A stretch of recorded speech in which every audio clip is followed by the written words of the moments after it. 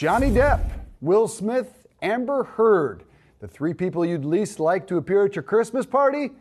Also, the most searched for names in 2022, according to Google's year in search for 2022. For the most searched for word of the year overall, though, we should technically give you six guesses.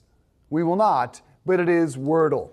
Purchased by the New York Times earlier this year, this was easily the most searched for word all year long, and the economy was clearly on the mind of the masses. One of the words looked up the most in terms of its meaning was recession. A lot of economic questions were Googled this year, Seana, including how do I buy bonds? What is a bear market? Why is gas so expensive? How do I get student loan forgiveness? Tells you a lot about the shape of the economy as a it whole. does, and it's a little bit worrisome. And I also just think that this just speaks when you take a look at this list. I thought it was very accurate when you take a look at some of the biggest trends and what we have seen play out over the last 12 months. I was a little bit skeptical when I first heard that Jeffrey Dahmer was in the, one of the most searched for terms, but when you take into account, I guess, how popular that Netflix show was, Yeah. it makes a lot of sense. Wordle, on the other hand, it's going to be interesting to see how much that's going to take effect, like how much influence that's going to have in 2023. Because I would make the argument it started extremely strong out of the gate.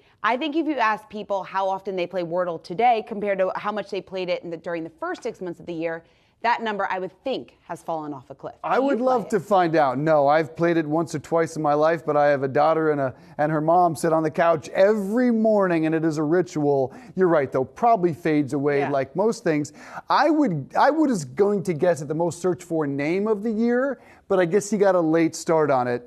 SBF. I thought Sam Bankman Fried, even though it's only been a couple of weeks, when you think about the implosion of FTX, I thought that would dramatically, just in those couple of weeks together, Yeah. would rise to the top. And I'm guessing has. It would be interesting if they could break this down month by month Yeah. and you could really dissect everything that's been going on. One, one thing I can add that they're looking for is um, how do I become an aviator, a, a flight pilot? They think that it was Top Gun. Interesting, interesting. All right, well, we can keep going on this for hours and hours, but we got to leave it there.